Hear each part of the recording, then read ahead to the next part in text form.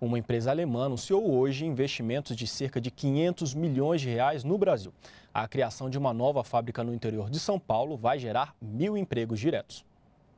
Em reunião com a presidenta Dilma Rousseff nesta terça-feira em Brasília, representantes da multinacional Mercedes-Benz anunciaram a instalação da terceira fábrica da marca no Brasil, na cidade de Iracemápolis, no interior de São Paulo, especializada em carros de passeio. Estimativas da montadora alemã apontam que serão gerados mil empregos com a nova unidade, que vai ter investimentos de cerca de 500 milhões de reais. Para o ministro do Desenvolvimento, Indústria e Comércio Exterior, o anúncio de mais uma fábrica da Mercedes-Benz no Brasil é resultado do programa Inovar Alto do governo federal, que dá incentivos à inovação tecnológica da cadeia produtiva de veículos no Brasil e foi lançado em 2012. Nós estamos completando a décima é, fábrica, a décima planta industrial nova que vem para o país depois do regime do Inovar Alto.